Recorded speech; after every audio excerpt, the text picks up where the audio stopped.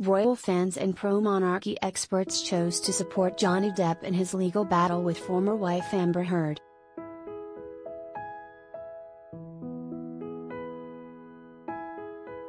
The Aquaman actress was brutally trolled by some royal fans and compared with Meghan Markle by experts known for their sympathies to the British royal family.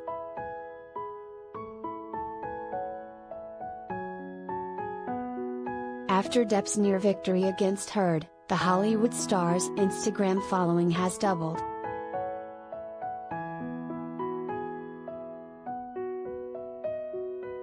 He is being followed by more than 27 million people on the Facebook owned app.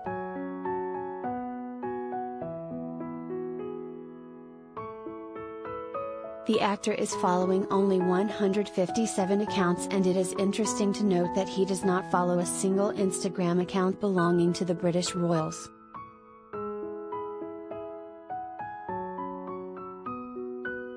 Not even Prince William and Kate Middleton who recently rubbed shoulders with Tom Cruise at the London premiere of Top Gun Maverick.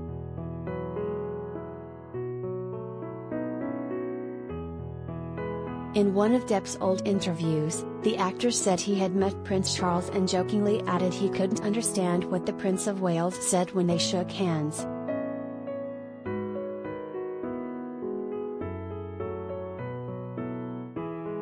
Depp also mimicked the future king in the interview.